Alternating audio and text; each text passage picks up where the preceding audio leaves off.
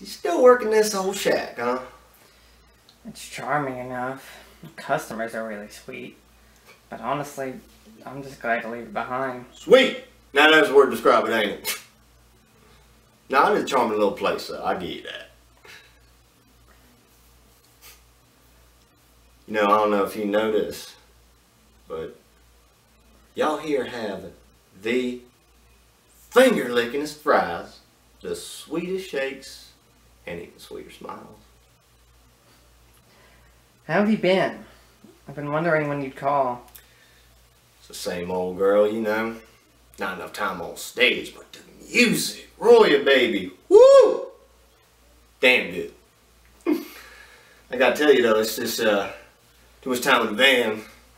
Just cooped up, it gets more and more crowded each tour. You know, we just got signed to a major label right now. Got us a producer and he's got us on the road non-stop.